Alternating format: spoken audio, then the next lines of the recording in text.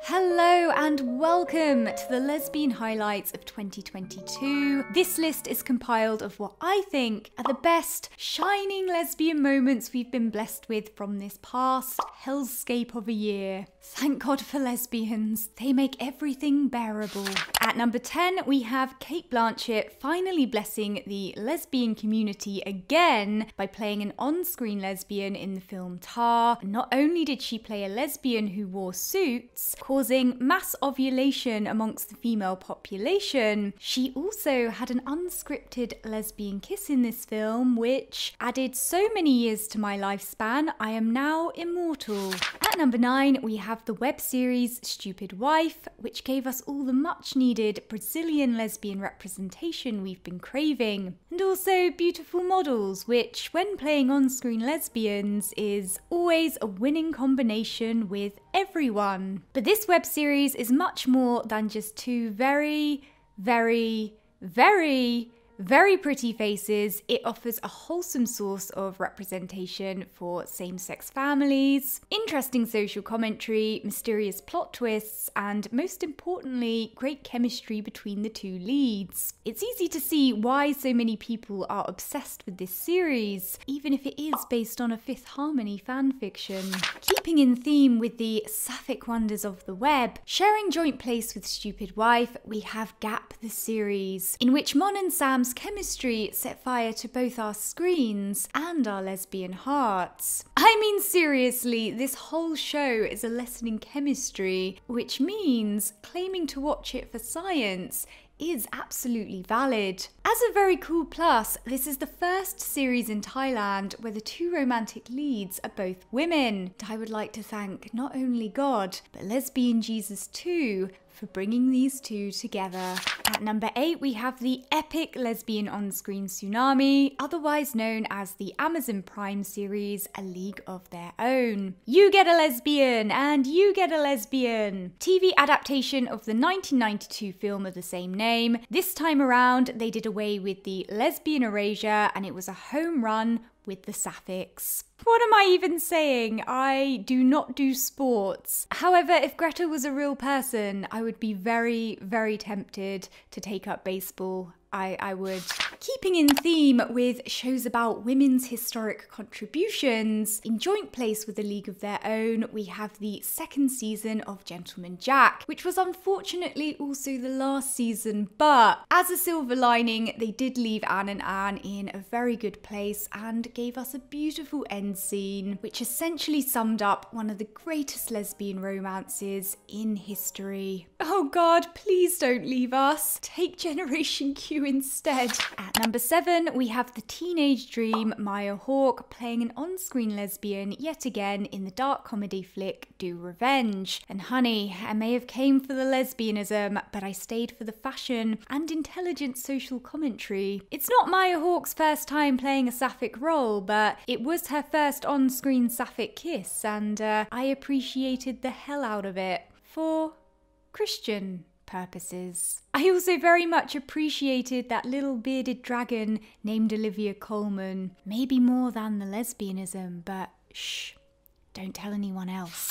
Keeping in theme with teenage kicks, at joint place with Do Revenge, we have the coming of age romantic comedy film Crush which was released earlier this year and produced by the lesbian community's sweetheart, Natasha Lyonne. Crush is the light-hearted romantic comedy that both younger and senior lesbians like myself deserve. And the best thing about this film is the humour. It had me laughing from beginning to end, which is a nice change from crying over lesbians dying. So it's two thumbs up from me. At number six, we have Dakota Johnson leaving Fifty Shades of Grey for the whole rainbow instead in Am I OK? This film was released at the online Sundance Film Festival earlier this year, and I was lucky enough to get a ticket to see it. Look, if Dakota Johnson is going to kiss another woman in your production, then you have my lesbian money. What I loved about this film is it's a rare portrayal of coming out later in life, as opposed to coming out as a teenager, and that sets it apart from a lot of other lesbian films. And as a bonus, it was created by Tig Notaro and her wife Stephanie Allynne, who I would trust with my life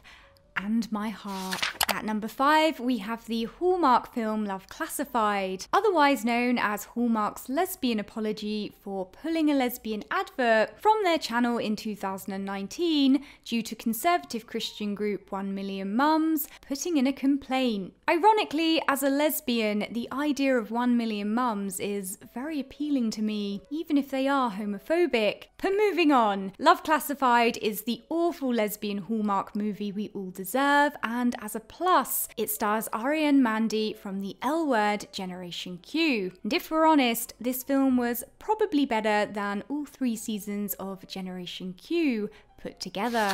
At number four, we have the Sapphic Princess and Knight fantasy pairing from Disney that we've all been waiting for Kit and Jade from Willow. What's not to love about a princess and a female knight falling in love? It's literally the stuff that fairy tales are made of. Well, at least now in 2022.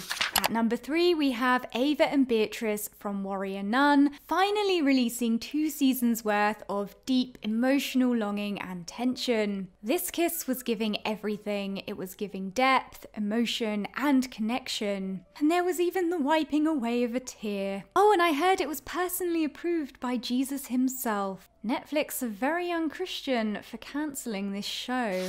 Speaking of sapphic shows cancelled by Netflix, in joint place with Warrior Nun, we also have First Kill. Okay, it wasn't the greatest show ever made, but when you have two leads with such incredible chemistry and charm, who cares about the costumes looking like they came from the Halloween aisle out of your local grocery store in October? Look, we don't have many lesbian vampire shows written through a female lens, so when we do get one, it should be protected at all costs. You can't see me right now, but I'm side eyeing Netflix so, so hard.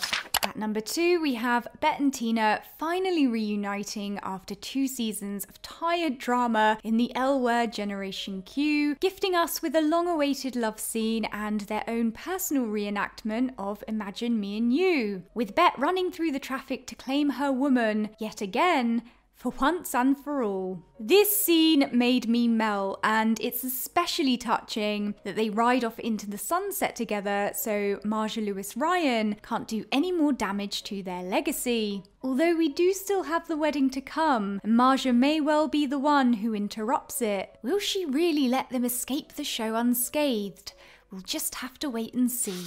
And finally, at number one, we have Eve and Villanelle finally putting their beautiful faces together after four long seasons of torturous, torturous lesbian chemistry in Killing Eve. No pun intended. Not only did these two finally kiss, they gave us one of the greatest kisses that I've ever seen in the history of lesbian kisses. And as far as I'm concerned, the series ended right after they kissed too. Sandy forever, Laura Neal, never. Thanks for watching. Let me know your own lesbian highlights from this year down in the comments section below. Don't forget to subscribe for instant disappointment and have a happy new year.